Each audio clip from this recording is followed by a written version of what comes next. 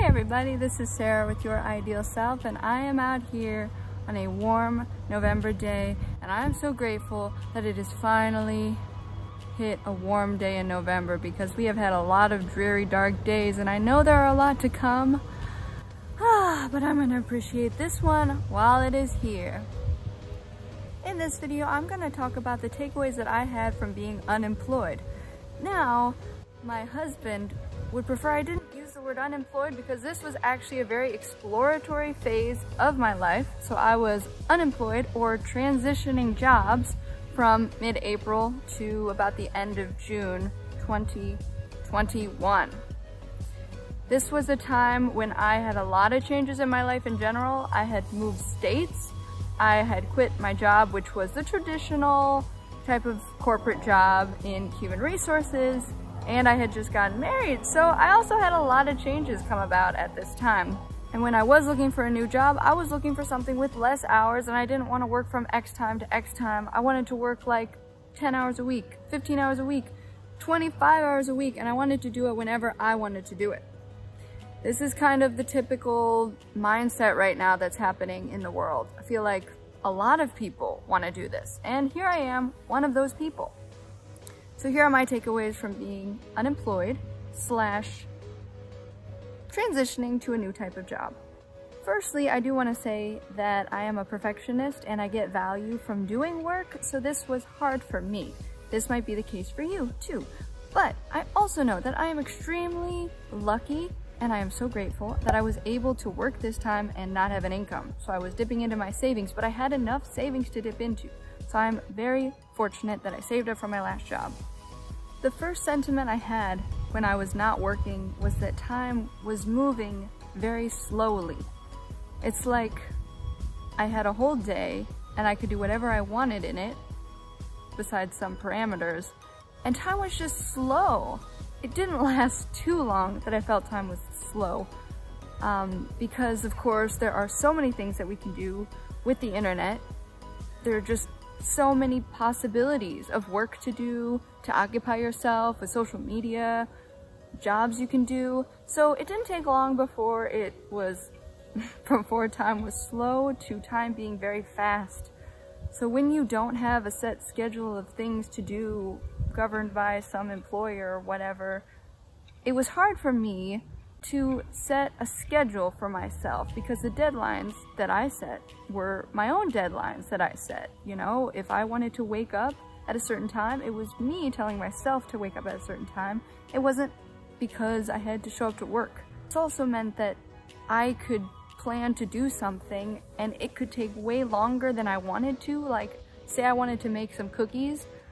I had nothing stopping me for it to take me three hours to make those cookies versus an hour to make those cookies. But I do want to emphasize too that I wasn't just doing nothing. I mentioned meditation. So I still had a lot of things that were, you know, part of Sarah.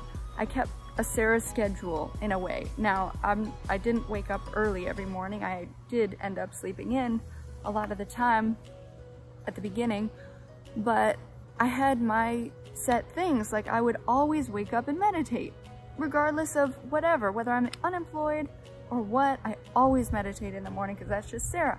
I always work out every other day because that's just what I do. And I always journal at night. That's me. So I had these set things, but I also busied myself, like I said. So even though I was trying to relax and take a break while looking at new things, like new jobs, I was getting a little bit stressed about it I was looking on LinkedIn, I was getting a lot of uh, messages from recruiters. Um, I'm in human resources and I do have good experience and I was getting reached out by these people and I would, you know, take my time to answer those messages. Uh, I would always ask them if they had part-time opportunities and making sure that it was remote because that was the kind of job I wanted. And so it was, it was a bit stressful when I didn't get that right away it's weird because there's the me that's trying to relax and like Sarah, there's this voice inside my head saying, Sarah, relax. This is your time to relax. You're not going to be without a job forever. And then there's the other competing Sarah that's like, you know, everyone else is working. Everyone else is making money working. This is how people uh, give value. This is how the world works. You can't just slack off like this all the time. And these were competing a lot in a war with each other, which was hard for me. I finally did relax some because I had to trust it was gonna be okay. And it was also helpful because my husband, Darin, he reassured me that my worth was not by me working. He reassured me that when I went to him on dog walks, because that's another thing I did, I went on his dog walks with him. He's a pet sitter, business owner, and he he had me busy, whatever you want to call it, but I was walking dogs. That was another thing I was doing. And he reassured me because he said, Sarah, I just appreciate you with me and your your value just being you walking with me. I'd rather you be here than not be here. Which did have a big impact on me. Like just my presence. Even if I wasn't feeling amazing or really thoughtful or reflective that day because that's another thing. I think I have to be great or I'm not as worth it. He reassured me that it's okay. Just my presence is of value. So I started to enjoy myself as much as I could. But it was hard at first. Before I get to the positive part of the story, here's a cat pause because I haven't done one of these in a while. So here is either Chroma or Will or both of them being really cute. Here's your break.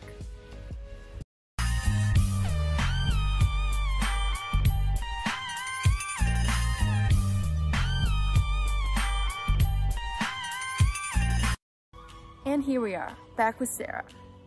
This is the positive side of things. Now, I was kind of looking for a job, but I didn't get a job.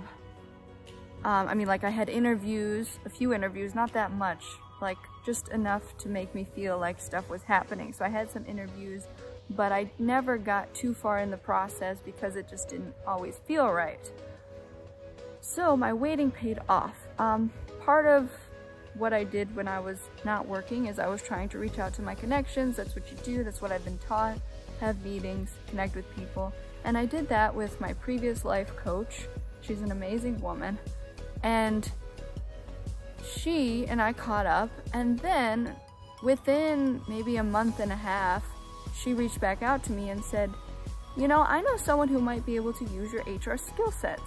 And she was in HR for a while and she and I talked about this. She knows pretty much what she can know about what I'm capable of by just talking with me. And she connected me with someone who needed someone like me, who, who herself was an individual business owner and she was working her own company. And she was an HR consultant. Like she founded her own business and she was taking all these HR clients and helping them here, helping them there.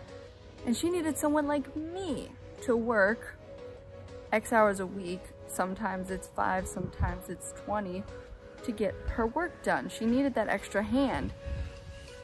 And so I met with her on Zoom and she was such a warm person and I really enjoyed her. And I've had bad boss. I've had a, I've had one boss before and she, she was not a good boss. So it was a big deal to me that this person wasn't a bad boss. Now, I probably had low standards because I was like, you know, anybody could be better than that person, okay? But then she happened to be like a really good boss. Um, we just connected right away and she was a bubbly person and she ended up being someone who told me good things about my work and just very positive in general, positive disposition, not too hands-on, just lets me do my work, trust me, ask for my opinion. So connected with her and then I just started doing work for her and it started out slow, slower, um, but it was what I wanted. It was perfect and it wouldn't have happened if I wasn't not working and if I wasn't open to these new things. So that brought me to today in which I can do my work that makes me feel like I have value because that is always going to be a part of me. I can't get rid of that. And then I can enjoy myself. And then also, on top of that, more recently, that same person that referred me to my new boss now, she actually needed help on her own social media projects.